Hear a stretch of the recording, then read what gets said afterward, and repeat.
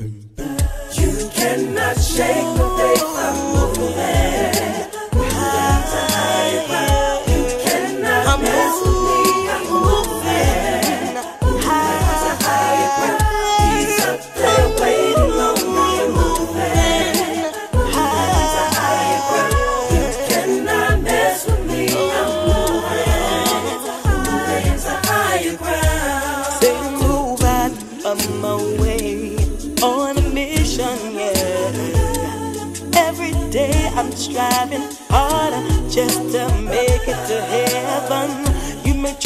me with scandalous ways, oh yeah. You can me on the solid rock stand. I'm gonna keep on working, Lord. Uh, we just want to be in prayer and always on our knees for everything that's uh, been happening this year. Some, for some of you, it's been a rough year. Amen. And we always want to um, go up to the throne of mercy during these difficult times. Um, and, and with that in mind, I want to speak on the subject today uh, entitled Crisis of Faith crisis of faith. Because um, if you're you're not having a crisis of faith right now, you will have one, and it's right around the corner.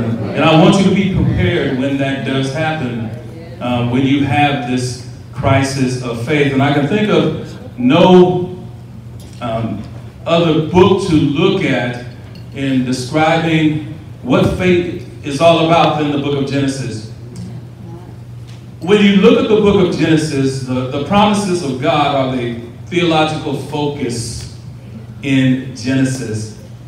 Uh, the Genesis narrative concerns the promise of God that was made to Israel to give it a land and to be their peculiar people. And as you look at the book of Genesis, uh, the promise just weaves in and out of this narrative. And at times it's explicit and intrinsic to the text. And at other times, it's imposed on the text in a secondary way. And still, at other times, it's only implicit, and sometimes it's not even stated at all. But in all of these three cases, whether it's primary, secondary, or implicit, the persistent claim is that God has promised to stay with his people until his will is accomplished in this world. Saints, as I look at my Christian journey, and when we look at our Christian journey, every step on our journey is a, faith is a step on the promises of God. The promises of God are the stepping stones upon the path of life that enables God's people to move forward in our life of faith. It is the promise of God in Genesis chapter 12 that enabled Abram to take that step of faith as he moved toward the promised land. Uh-huh. It was the promises of God that saved Abram when he took a different path and moved toward Egypt. Uh, a path that was not lined with the stepping stones of God's promise. It is the promises of God that gave Abram a victory over the four kings in the 14th chapter. And it will be the promises of God in the 15th chapter of Genesis that enables Abram to continue his journey of faith. The promises that are declared in Genesis chapter 15 uh, in the life of Abraham are not new. Uh-huh. The promises that are declared are God's continued confirmation of the promises given to Abram in the 12th chapter. And it will be God's continual confirmation and reassurance of these promises that will keep Abram moving in the right direction. Amen. When we come to chapter 15 in the book of Genesis, it is a pivotal, pivotal chapter, both in the narrative of the life of Abram in the book of Genesis, as well as the story of God's plan for redemption of all humanity. While this is a pivotal chapter, it's important because it transitions the narrative of Abram from focusing on the promises of land to focusing on the promised seed. Up until this point, the story has been focused on the promised land. But now, especially after chapter 15, the focus will be on the promised seed or the heir of Abram in this narrative. Uh-huh. The promises that Abram was able to stand on in the 15th chapter are the promises that of all of us on our journey of faith can also stand on. We used to sing a song called Standing on the Promises of God. That's what the book of Genesis is all about. And I want to set the stage as we move through Genesis chapter 15. Let's begin with looking at verses number 1 through 3. The promises of God banish fear. The promises of God banish fear. During this section of the narrative, we have Abram standing face to face with God, and, and he seeks to refute the promise and, and resist the assurance that God has given him.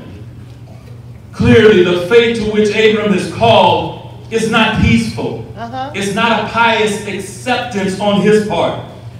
We look at Abram's faith as being one that is hard fought, one that is deeply argued with conviction. In other words, Abram is not going to be a passive recipient of the promise.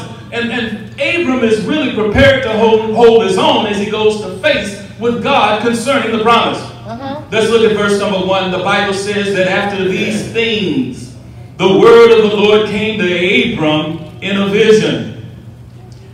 Often times in our lives, is after these things, when fear and doubt enter our lives, that we begin to, to question the providence of God. Uh-huh. So, what are the things that Moses is referring to here?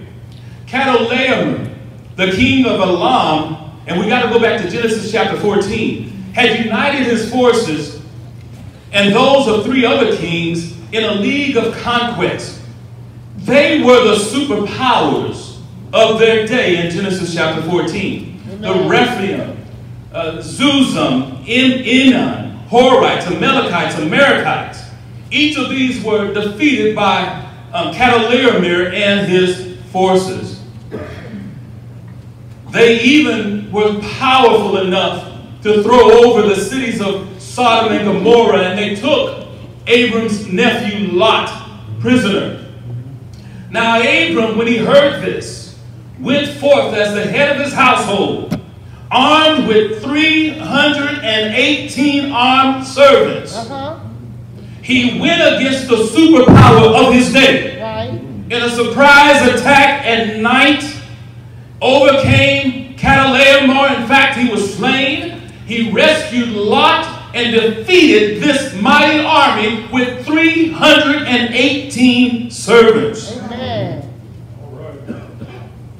Lot was delivered. He was he met Melchizedek, the king of Salem, the priest and king of the most high God, and, and Abram gave him a tenth of his blessings. And Melchizedek blessed him. So now Abram is on a spiritual high. Mm-hmm. But during that time, in defeating Chedorlaomer and his allies, Abram made some bitter enemies. And it is likely that these enemies would not rest until they took vengeance on Abram and his 318 servants. So now, Abram, after coming off of a spiritual high in defeating these kings, it was after these things that Abram was alarmed. Abram was fearful. He was apprehensive. Now, now Abram was disoriented. He was fearful about his future. It was after those things. And the narrative Moses seeks to put in and rewrite the story for Abram. Because remember that Abram's state of mind is he's disoriented. He's fearful. But Moses interrupts this time in Abram's life with a do not be afraid. Uh-huh. Now wait a minute. I've just defeated Chedorlaomer and his enemies and, and his allies. And now they're seeking my life. And upon that, there's not a change in, in Sarah's condition. Uh-huh. I'm an old man, and, and Sarah is past childbearing. Sarah's call to barrenness is just a false alarm. Uh-huh. If their barrenness prevails, then the promise that you made me, God, is null and void. Abraham has everything to fear, but God is not going to leave it there. And God speaks a word, and He says, Do not be afraid. Amen. Now, it was more than just a word of greeting. Right. The power of that message, that word, was earth shattering. Uh-huh. Fear not. Don't be afraid. It, it shocks Abraham, who was fearful about his future. Fear not is a word that shattered, shattered the notion of after those things in Abram's situation. Fear not, don't be afraid begins to change Abram's perspective about things. Fear not, do not be afraid, reestablishes the promise that God made in Genesis chapter 12. Yes. When. God tells you fear not, Uh-huh. when he tells Abram fear not, It's the first step in the reaffirmation of Abram's wavering faith at the time. Uh-huh. Why did he tell him not to fear? He said, because I am your shield. Amen. Come on now. Your reward will be very great. Uh-huh. And so now what the Lord does, he identifies himself in terms of the relationship Yes. Yes. that he has with Abram. Uh-huh. And this is why Abram can take courage after those things in his life. He says that I am your shield. I'm your deliverer. Yes.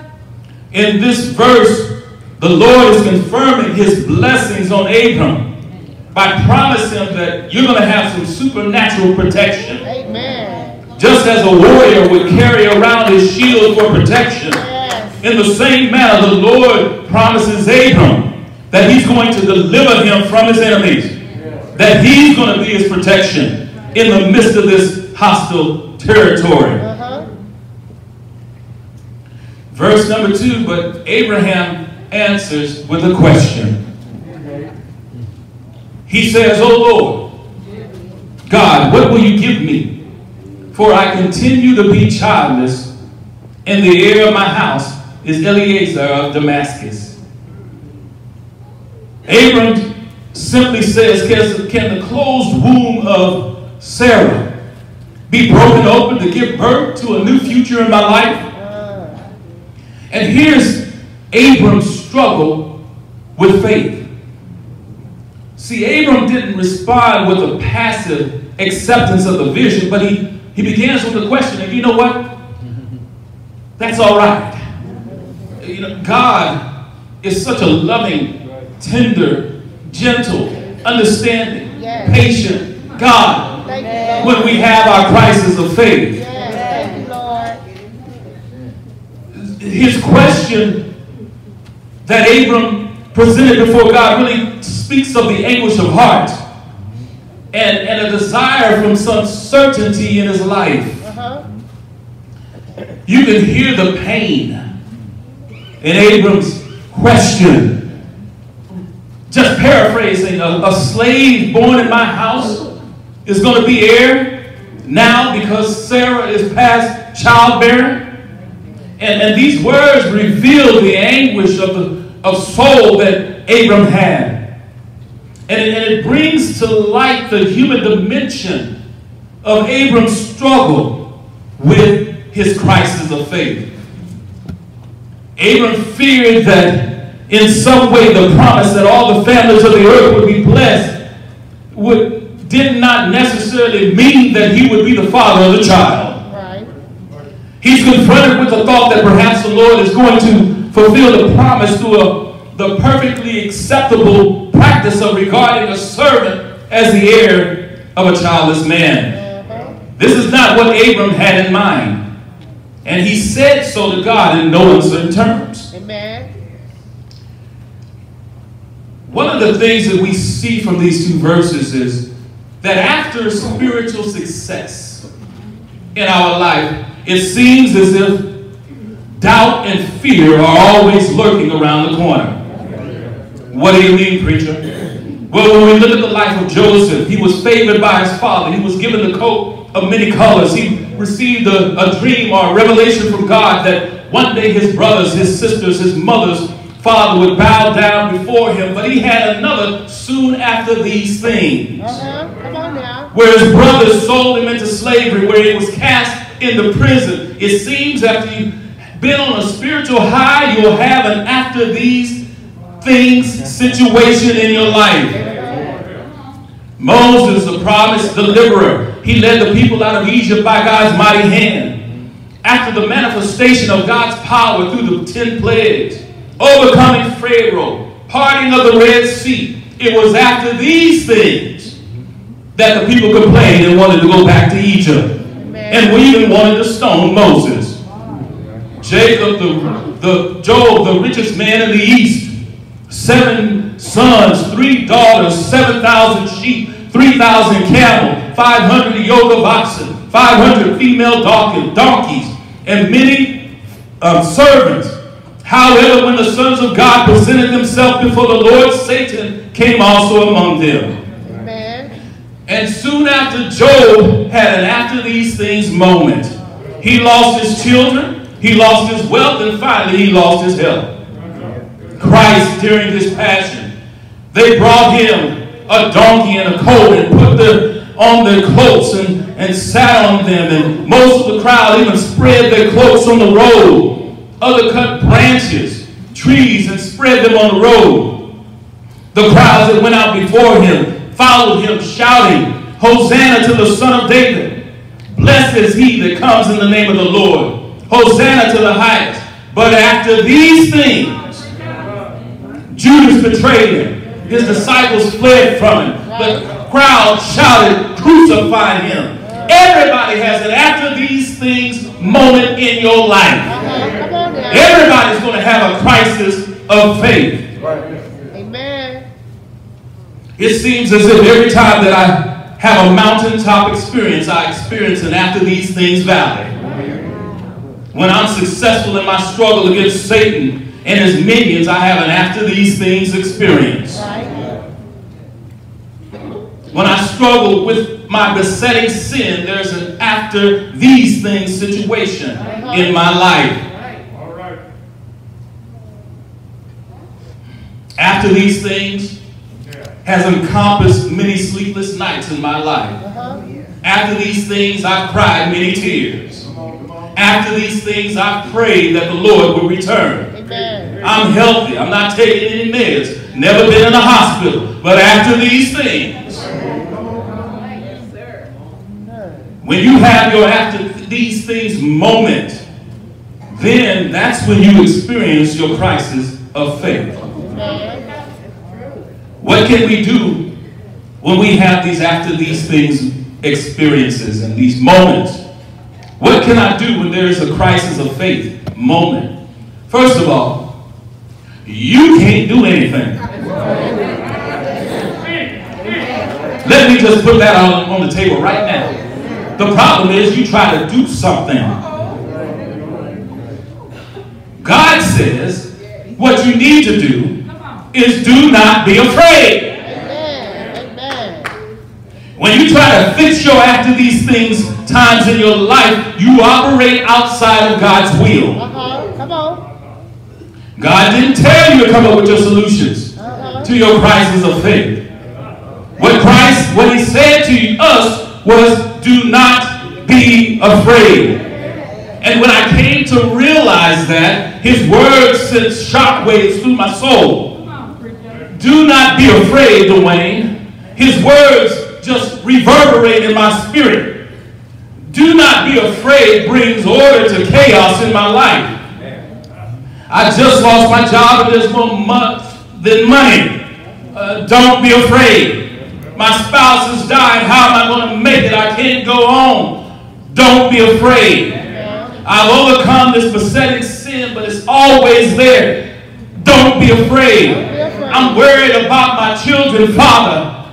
Don't be afraid. I can't, uh, uh, I, I'm scared to share the gospel because I might be canceled or, or persecuted. Don't be afraid. That's what you need to do when you have your crisis of faith. Don't be afraid. Why? Because fear, it warps our perception of reality. And it turns your successes that God has given you into failures. You can't see them anymore. Dwayne, don't be afraid. Because the Lord is my shepherd. I shall not want. God tells us, don't be afraid when you have your crisis of faith. Because God is your shield and your reward is going to be very great. God protects his children. Now, I'm not going to tell you that God is going to change your circumstances. So often we get it twisted because we feel that God's going to change your circumstances. Obviously, God can if he chooses to because he is sovereign. However, God is more concerned about your faith than he is about your circumstances. Amen. Come on He's more concerned about your future than your present situation. He's more interested in your faith than your good fortune. Yes, yes. God just tells you, don't be Afraid. afraid. The promises of God promote faith. The promises of God promote faith in verses number 4 through 6. And the Bible says, And behold, the word of the Lord came to him. This man shall not be your heir, for your, your very own son shall be your heir. You know, I, God is so patient with us. You know, we are so descriptive. Of, the, the analogy of being sheep was just so descriptive of us. But God is so patient because God could have rebuked him and said, Look, now I gave you this promise back in Genesis chapter 12. You got one more time to doubt what I'm saying. But God is not like that. He didn't rebuke Abram. But he used that as an opportunity to reaffirm his covenant that he made with Abram. This gracious reaffirmation allowed Abram to speak boldly to the Lord and to reveal what's going on on the inside. And he, and he made no secret of his, the wound of his spirit. See, when you have a personal relationship with God, you, you should be able to tell him everything that's going on in your life. You know, so often we try to mask our, our conversations with God when we say forgive us of our sins, uh, like God doesn't know. Right, right. Until you identify specifically and you hear it ringing in your ears exactly what that sin is, Uh-huh. then you will, that will be the first step of identifying and allowing the Holy Spirit to help you to overcome that sin. Amen. But Abraham wasn't like that. David wasn't like that. They spoke boldly in their conversation with God. Uh-huh. And in return for their boldness, they received an instant healing. God's response to Abraham's tumult was an expression of mercy. God, mindful of his suffering, what God did, he took this as an opportunity to re-articulate the promise to him. The Lord begins by telling Abram, in effect, to, to wait on the birth of his own child, in verse number 4. That's the substance of faith, is waiting on God Right. to make good on his promises. On the Lord. And, and furthermore, on top of that, some of us are visual. Amen. We got to see it and hear it. But, and Abram, God took him outside. And what did God do? He wanted to give Abram a visual image. And so he brought him outside in verse number 5. and said, Look toward the heaven. Number the stars if you are able to, to number them. Then he said to him, So shall your offspring be. What's the point? It's not feasible that a person could look up in the stars and look up into God's universe and, and count the stars. Yet God can number them and he can name them. And that same God that can make stars and beyond number can also make a son for your barren family. And in like manner, we can take refuge in them, and we will, tr- and we can trust that God is going to bring about His promise according to His divinely ordained timing. Uh-huh. God has a perfect track record for doing what He says We gonna do it. and times in our lives. Uh-huh. The result of, of God's showing Abram the heavens and his word was not only that Abram believed, but in verse number six, he believed in the Lord and he counted to him for righteousness. Amen. Let's look at this verse for a minute because why is Abram's belief in God counted for righteousness? Wasn't Abram a believer before that time? Contempl- Contemplated here in Genesis chapter 15 and verse number 6. The Hebrew writer even goes on to declare that by faith in, in Hebrews chapter 11 and verse number 8 that he left Ur of the Chaldeans and went out not knowing whither he went. Yet we are not told there that he believed in God and it was counted to him for righteousness. So it's obvious that Abram was a believer when he left Chaldea. But his faith was not there mentioned in connection with his justification. And to find the answer to why the Holy Spirit said that it was accounted to him for righteousness, we need to look at the epistles of Paul in Romans and Galatians. In both of these books, the Holy Spirit singles out the occasion when Abraham's faith was connected with righteousness. And it shows us that this happened in Genesis chapter 15. In the third chapter of the book of Galatians, we see three indications of exactly what Abraham believed here in the 15th chapter of the book of Genesis. First, Abraham believed in the gospel.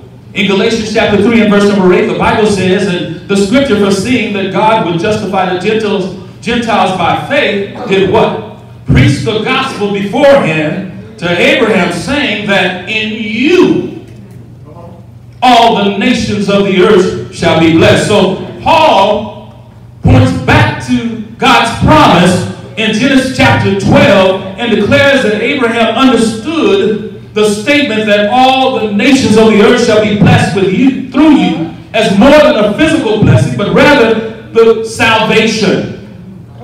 Secondly, when we look at Galatians 3 13 and 14, we see that Abraham believed in redemption.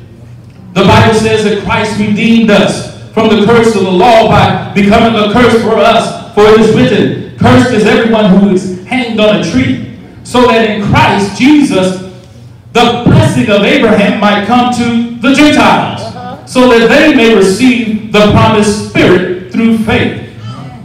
According to these verses, Paul declares that Christ redeemed us from the curse of the law, and this was done in Christ Jesus, who Paul says is the blessing of Abraham. Third, we see that Abram believed in Christ.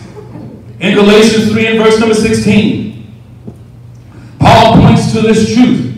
He says, Now the promise was made to Abram and to his offspring. Uh-huh. It does not say to and two offsprings, referring to many, but referring to one and to your offspring, who is Christ.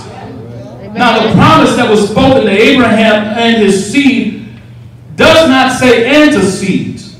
The literal translation of seed is not the plural, but the singular. Right. And Paul informs us that Abraham understood that the promise was more than just a promise of many descendants, but the promise of one descendant, Uh-huh. the one that would bring justification from sin to the world, and that one descendant was Jesus Christ. Yes, yes. The faith which was counted as righteousness Yes. in Genesis 15, verse 6, was the faith that Abram had who that believed that God um, said about the promised seed. Amen. It was after this instance of faith in which the Holy Spirit selected as the model for believing justification. There is no justification apart from Christ. Amen. And that's what Abram believed. He believed that justification would come through his loins, the promised seed, which is the Christ.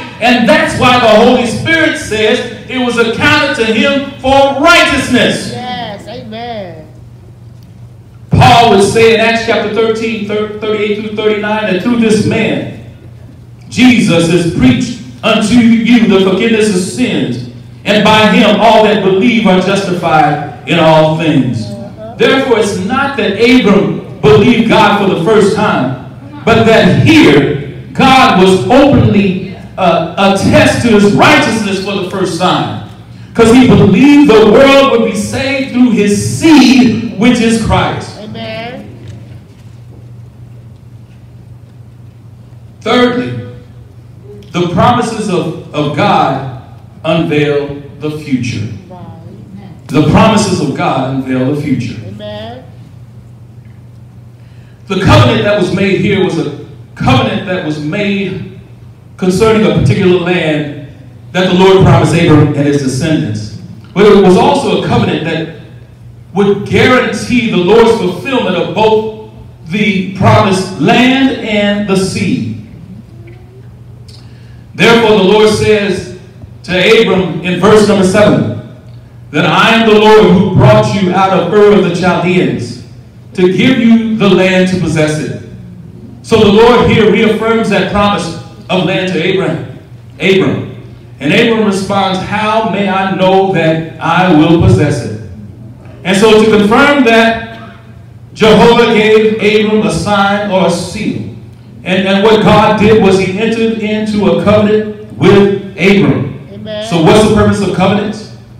And this was a practice that was prevalent during the ancient Near East. Uh-huh. And they were made between parties for the purpose of defining the nature of the relationship that was being en- entered into. And the covenant defined the responsibilities and the obligations of both parties entering that covenant together.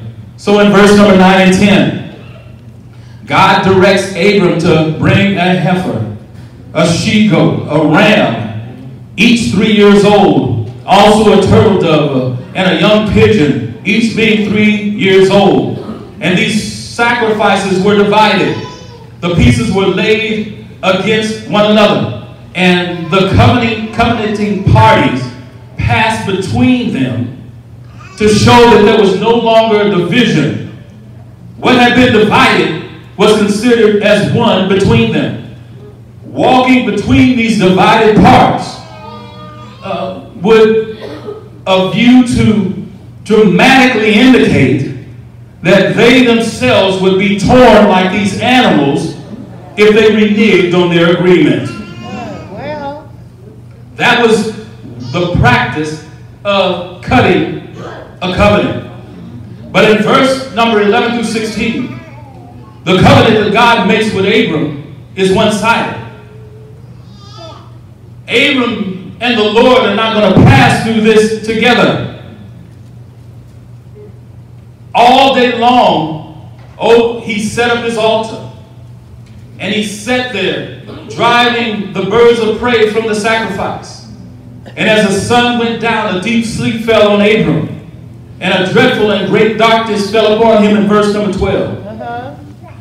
God also prophesies that Abram's children are going to suffer 400 years of affliction in Egypt. Afterward, God's going to bring judgment on that nation that they serve, and they, Israel shall come out with great possessions. And there was a foreshadow of this in Genesis chapter 12 when uh, Pharaoh took Sarah into his harem, Uh-huh. and God brought plagues on Egypt, and he gave Sarah back to Abram, and they left with great possessions. Uh-huh. That was a foreshadow of what happened to Abram's descendants while they were in Egypt. In verse number 17, God ratifies this covenant. it was customary for both parties to pass through. But notice that Abram didn't pass through these cut up animals. The Lord passed through these pieces that Abram had cut. The reason Abram didn't, because God obligated himself to the fulfillment of his promise. Uh-huh. This covenant was a one-sided guarantee that God was going to fulfill the covenant that he made with Abram, and it was not dependent on Abram, but it was dependent upon God himself. Amen. God was putting himself under obligation to mortal man to realize the promises. Right? And so the passing of the fiery pot through the several pieces, this was to ensure the Lord's presence while Israel was in Egypt and to ensure the preservation of its prosperity. Uh-huh. Y'all don't get it. Let me show you how this covenant went. Demetri, come here for a minute. So, Demetri and I are going to enter into a covenant. And covenant is cutting the covenant on the, on the camera, on the screen. Just come over here because we're going to cut a covenant. So we gonna, we cut the, the heifer, the she goat, the ram, the turtle dove, and the pigeon. So in ancient times, what we're going to do, Demetrius, is we're going to walk there on this side, okay? That's what the sacrifice. We're going to walk together. Come on. We walking together through this covenant. And uh, we're going to get to the other side. And Demetrius, I want you to turn around. You see that cutting the covenant up there? If you don't have my back, if someone tries to jump on me, that's what's going to happen to you. If I don't have your back, and somebody tries to jump on me, then that's what's going to happen to me. That's how they did it in ancient Israel. Now watch what God did, does with Abram. Come on, Abram. You Abram now. What God said was, you stay there. I'm going to walk through in a smoking pot and a fiery torch. I'm going to obligate myself to you. Doesn't have anything to do with you. I am obligating myself to the fulfillment of my promises. So this is a covenant of grace for you. And that's what God did when he cut the covenant. He placed himself under obligation to fulfill the promise. So why do we have to be afraid?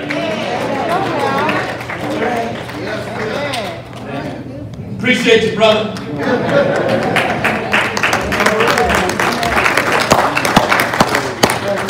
God placed himself under obligation. The covenant is based upon the sure character of God and has nothing to do with Abraham. All he wanted Abraham to do was to trust. All he wants us to do is trust and don't be afraid. You see, God has this covenant that God has not only is with Abraham, but it's with us also. It's an eternal covenant. Listen to what Paul says in Hebrews chapter 13, verse number 20. Now may the God of peace, who brought you from the dead, from the dead, our Lord Jesus Christ, the great shepherd of the sheep, by the blood of the eternal covenant. Uh-huh. We are a covenant people. And God will finish what He has started within each and every one of us. God's promise is sure because God's promises is, not based on what we do, it's based on God. What promises are you standing on? The only sure promise that you can stand on is God's supernatural saving promises. Yes. The only way that we can stand on God's promises, we've got to totally trust Him. Amen. Right about it? See, I want to be like Abraham.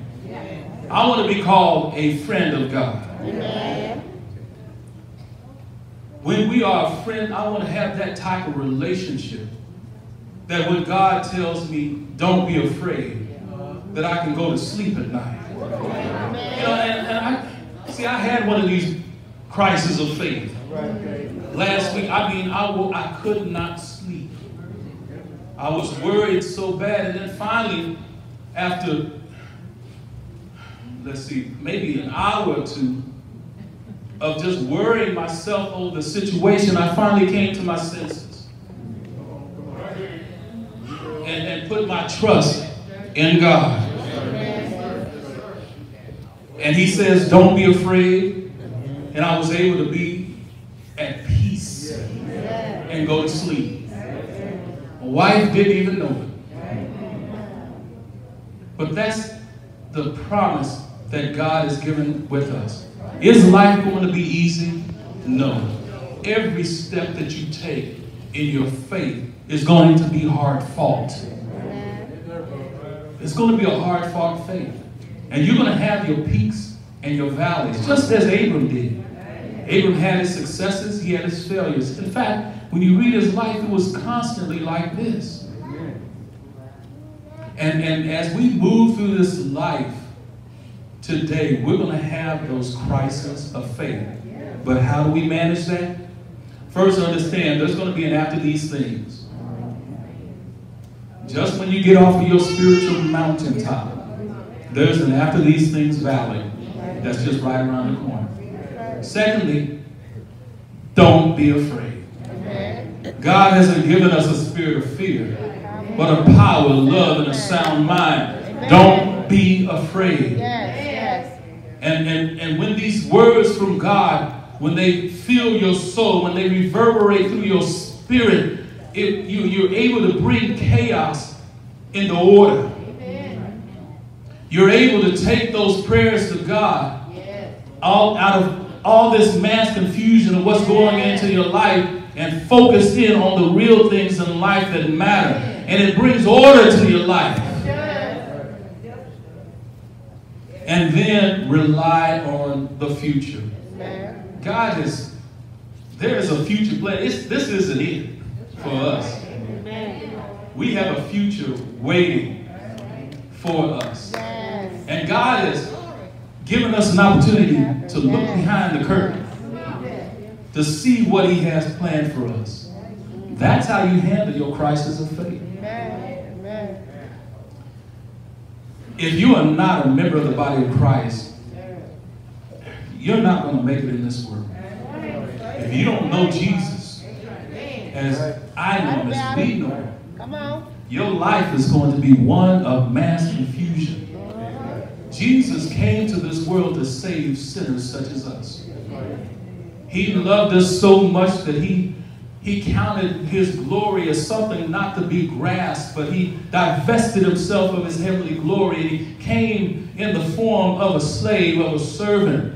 He took on humanity, lived as a man, died as a man. He is the high priest that is cannot, he could be, he knows what we're going through, our infirmities and our weaknesses. And he was that perfect sacrifice mm-hmm. that died for your sins, for my sins.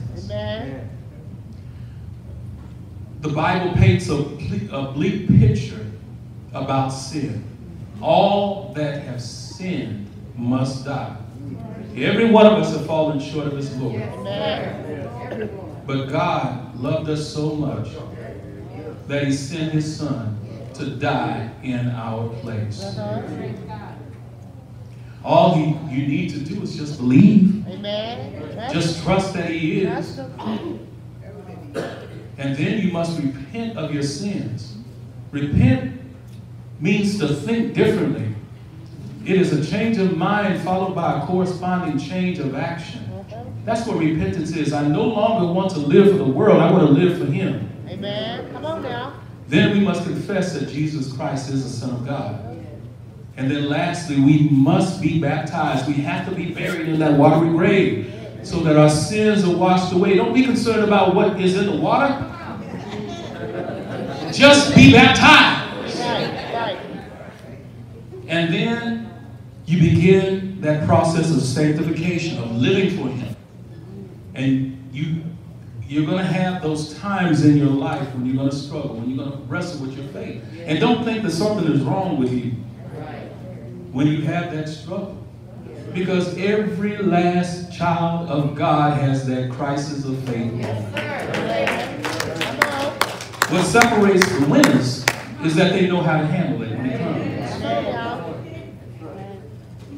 If there's anyone who is going through a crisis of faith right now, desire the prayers of the righteous. Don't be afraid. What do you got to be afraid for? You know, I, my dad was the biggest, baddest man in the whole world. I had no fear when I was with the gunny. Never. Well, I'm with the creator of the, I'm a child of the creator of the, of the universe. The king of the universe. What do I have to fear? Keep fighting. Keep fighting. Is anyone here subject to the invitation?